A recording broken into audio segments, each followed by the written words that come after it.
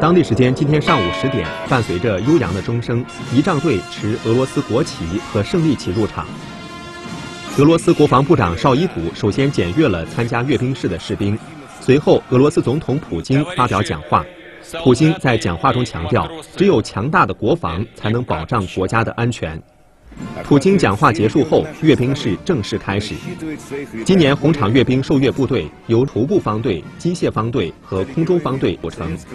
在今年的阅兵活动上，终结者坦克支援战车、天王星六和天王星九作战机器人、匕首高超音速导弹以及最新型无人机等俄军最新型武器装备首次亮相，受到关注。